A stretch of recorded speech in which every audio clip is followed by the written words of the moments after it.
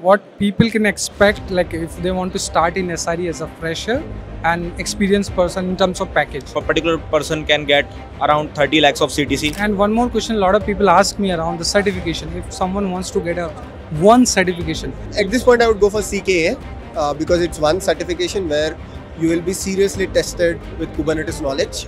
Uh, if someone wants to start in cloud and DevOps, like as a fresher, you know, how can they start? Uh, so one of the programs that the CNCF does is called Zero to Merge.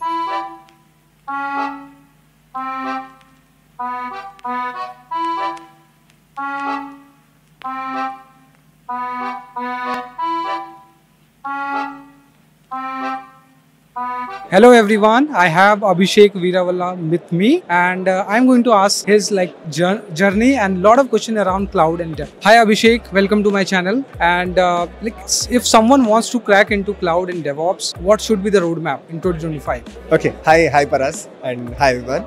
So basically if you want to uh, get into DevOps and cloud, uh, start with basics of Linux.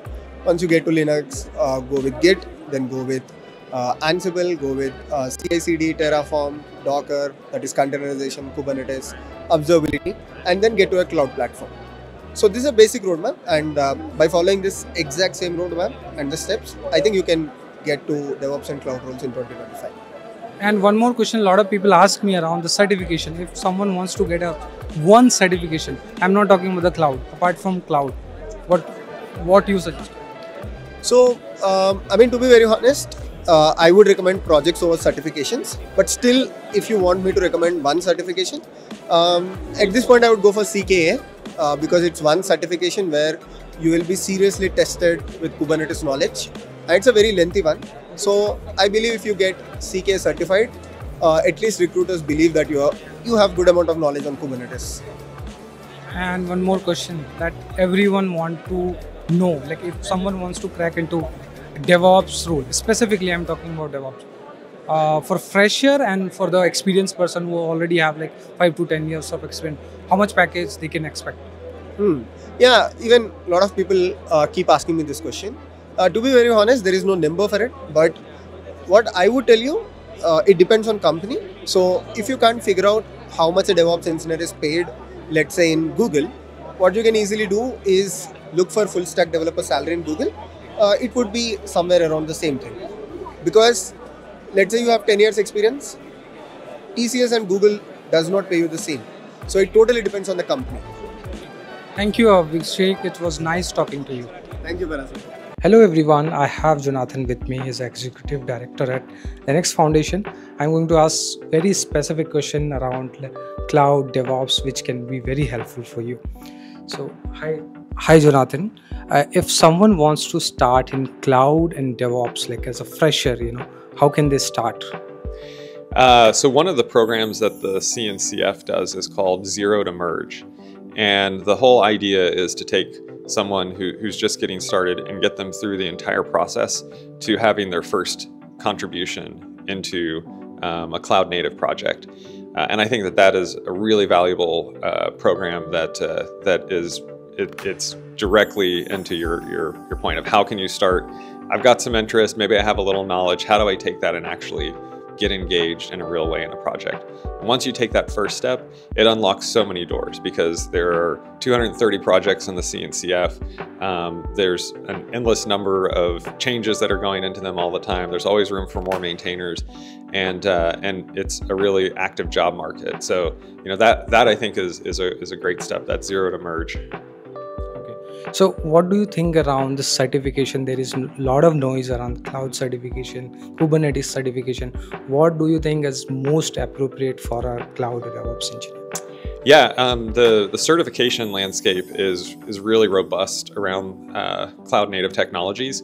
Um, through the CNCF, we support a variety of certifications that are sometimes project specific. Like there's a Kubernetes, um, a, a set of Kubernetes certifications. Um, there are also uh, a, kind of a package set of certifications. Um, one that we have that's called Kubestronaut is really popular. India has more Kubestronauts than any other country in the world. So, um, you know, your audience may already know about that one, but it, it's still a great one to, to go through because it will give you a full picture of how to operate um, a, a whole set of cloud native technologies and, and, and run them in, uh, in, in, you know in, in, a, in a reliable way. Okay. And one more important thing around AI, like a lot of people talking around AI and kind of role we are in, it's mostly around we are fixing things. We are not designing, we are not implementing.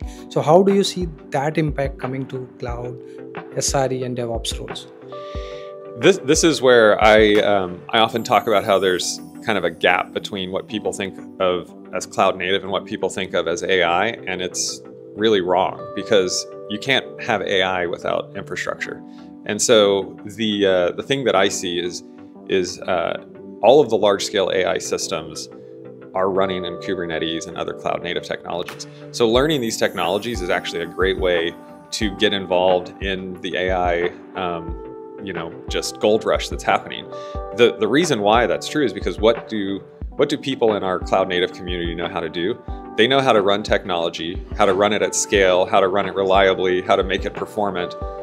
AI applications need all of that, especially as we move into inferencing and we look at uh, at, at um, all of these different uh, AI applications that are coming online right now. They're going to need all of those things. So the cloud native community has that skill set, that expertise. That's really who we are, uh, and I think it's it's actually the, the one of the best ways to get involved in in the uh, the AI movement.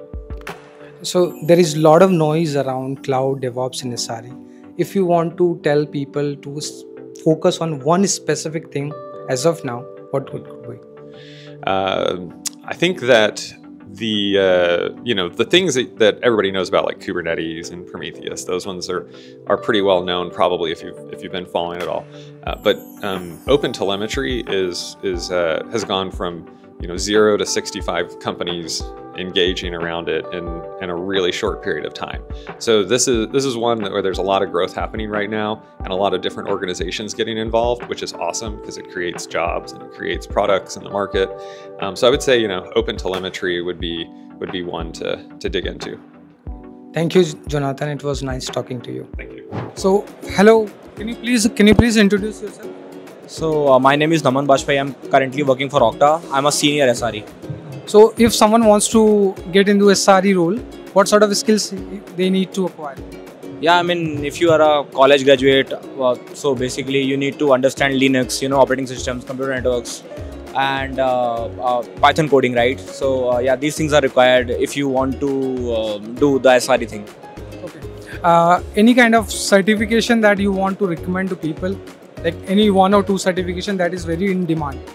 So there are so many certifications that are in demand, uh, like CKA, which is uh, Certified Kubernetes Administrator, uh, CKAD, which is Application Developer, right? So these are very much required for our DevOps SRE role, and uh, few, few are from Red Hat, which are basic uh, certification like Linux Administrator. Uh, and yeah, I mean, like so many tools are available, but I would suggest like the certification are not required, right? Okay. So I mean, if if uh, a particular person is really good in a particular thing, you you don't need any certification. Okay.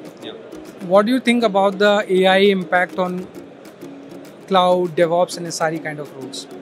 Uh, I think it is impacting a lot because uh, like people are using LLMs for their SRE practices. So suppose you have so many alerts, right? So you, you can optimize all those things uh, from uh, these AI models, right? And uh, there are uh, uh, teams which are basically using MLOps, which is machine learning operations. So people are basically creating their CI/CD pipelines with the help of machine learning. So to to optimize the things, to to tune the alerts, right? To basically auto, uh, auto remediate the you know scenarios. Yeah. What people can expect, like if they want to start in SRE as a fresher and experienced person in terms of package. So I mean package in India, I mean it, it varies a lot. But yeah, if, if you are targeting a product company like Google, LinkedIn, you know, Okta, Palo Alto, so the package is really good. So uh, I mean a particular person can get around 30 lakhs of CTC in a year, right? And uh, yeah, I mean for for for SRE1 it is the package. Yeah. Thank you so much. Thank you. Can you please introduce yourself? Yeah, myself Mohammad Tariq Yasin Khan. I am currently working as a senior software engineer in Zynga Games and uh, I am a Kubestronaut from last uh, eight months. So I think uh, I think this is this technology and this this certifications is, is very useful for all the all the Kubernetes related guy means whoever using Kubernetes. This is a very good for those uh, they can enhance their skills in the Kubernetes. They can get the all the certifications. Okay. So, what's the important about this certification that you've done, and what are the benefits? Like someone wants to go into cloud and Kubernetes, one specific certification that you want to give to them. Yeah, I think um, in Kubernetes there are five certificates we have to complete: CKA, CKAD, CKS, KCNA, KCSA and CKA, CKAD and CKS are very useful for the Kubernetes. Uh, I mean, wherever we are using Kubernetes from basics to advanced, if you, if, you, if we need to put some security over the Kubernetes, then we can use those things. And uh, and whoever uh, uh I mean, whoever are using Kubernetes, they can they can know the depth of the Kubernetes. If, if they got some issues, then they can able to debug it and troubleshoot it. Okay, what kind of roles they can target if they do a cloud and Kubernetes? Yeah, I think the roles they can go for the DevOps engineer or cloud engineer or software engineer role related to the Kubernetes uh, domain or any any software domain also. So right now Kubernetes is a big field. Every lot of companies are using it, so they can enhance their skills and they can get more opportunity also. What they can expect in terms of package, like as a fresher or you can say as an experienced person for five to ten years yeah i think uh, if someone is uh, uh, between 3 to 5 years they can get easily some 30 between 30 to 50 lpa easily in in, in lot of uh, companies in the in india. And uh, and they can they can also find some good opportunity also if they if they want to go in some big companies also. Thank you